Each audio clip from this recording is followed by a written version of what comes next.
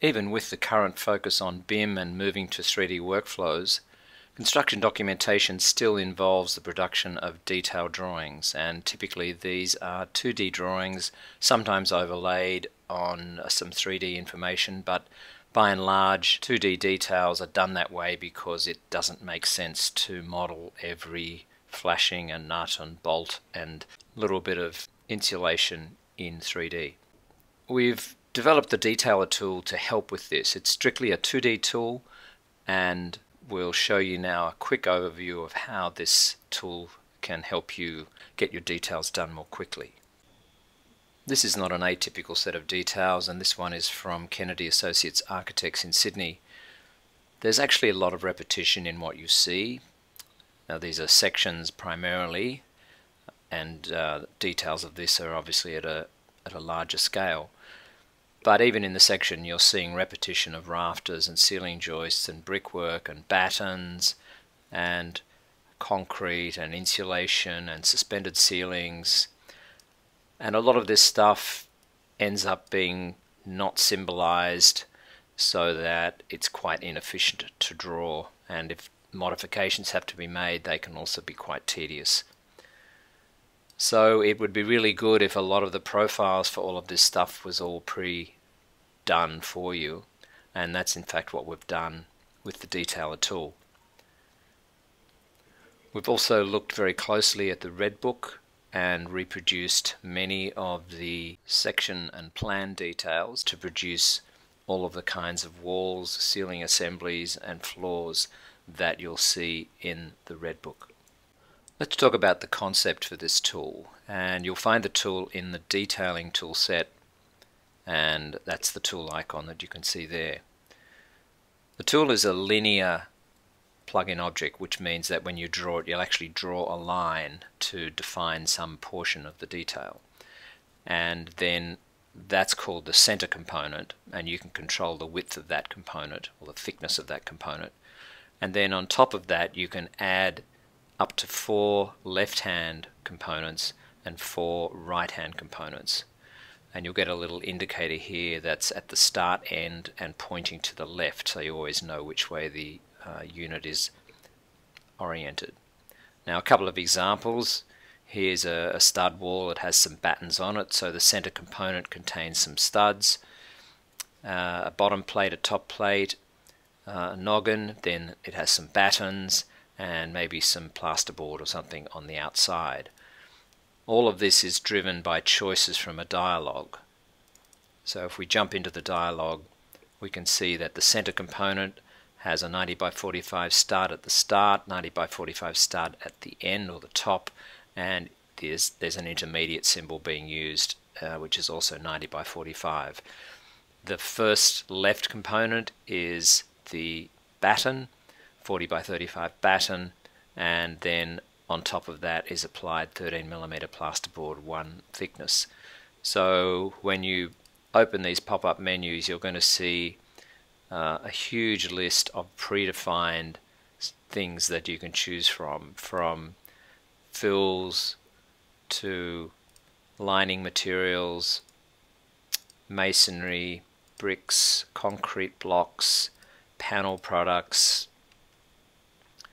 roof tile, ceramic, concrete, terracotta, sheet metal, so fielders sections, Lysaght sections, steel, all the rondo sections, purlin C sections, tubular sections, then in timber there's cladding, decking, dressed timber, flooring profiles, framing profiles, lots of different ones for, for floor joists and rafters, lining boards, and all of the porter's molds all in there as well. So lots to choose from. And of course, these are all symbols, so you can customize them or, uh, or make your own. Uh, so that's basically how you get to set the unit up. So let's click OK to that. And then just point out a couple of other things. You can optionally turn on the ability to show the control points of all of the components. And this allows you to independently change the starting and endpoints of the components. And this, this means that you can overlap these and get them aligning and do corner junctions and things like that very easily. Of course, you can control the spacing of all of these things um, and insulation and all sorts of other things as well. We won't go into all the details. And here's a here's another example of uh, of a series. We'll just quickly jump into the dialog for that. There's four components on each side. There's the shaft liner. There's a, a, a space. Then there's the the rondo studs and the linear material, and same on the other side. Let's finally look at some examples of this tool being put into use. And what I'm going to do is to just replicate to some degree this detail from the Kennedy Associates details. And what we've got here is some corrugated sheeting, insulation, rafters, brickwork, and so on. Let's have a look how you'd put that together with a detailer tool. So this top section here, it contains the rafters and the center components that we need. On the left it has uh, what we call a nominated thickness, which gives us this gap between the rafters and the sheeting, in other words the battens, and then we use this portion of a corrugated sheet to produce the roof sheeting. So that one's very simple. And again, if we've got the show control points on, you can control all the elements individually, where they start and finish. And what that allows you to do of course, is here we've got one detailer unit butting into another detailer unit.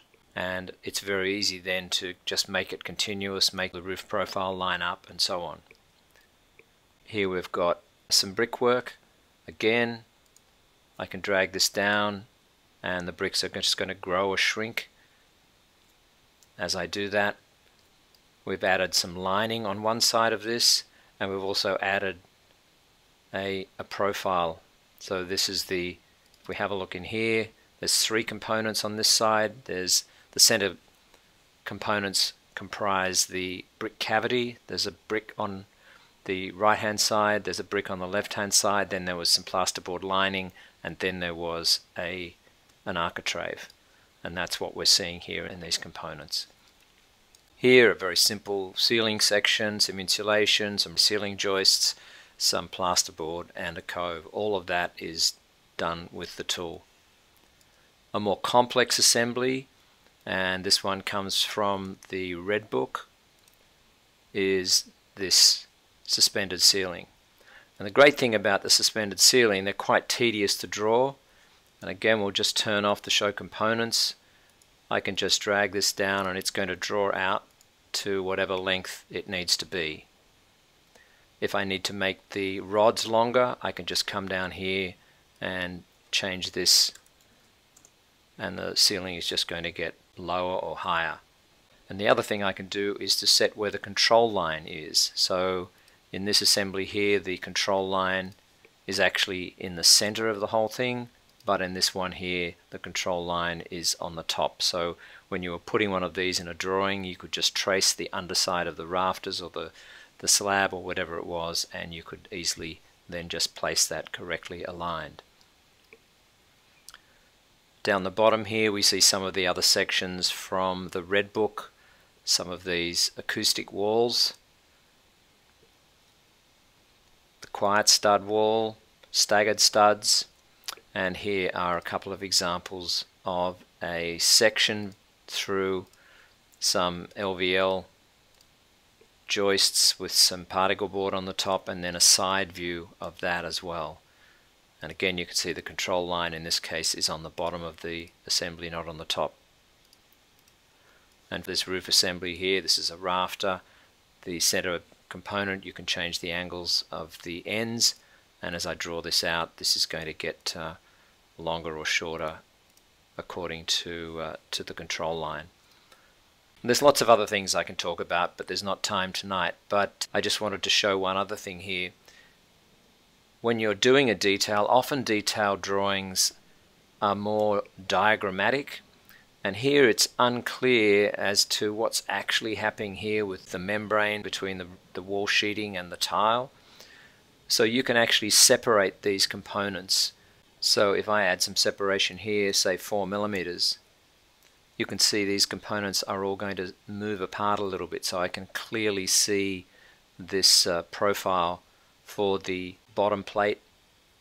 And maybe I'll increase the one on the left hand side as well just to push that apart. So now I can clearly see this and I can clearly see the membrane in here. And you can just vary that according to the scale of the detail and so on.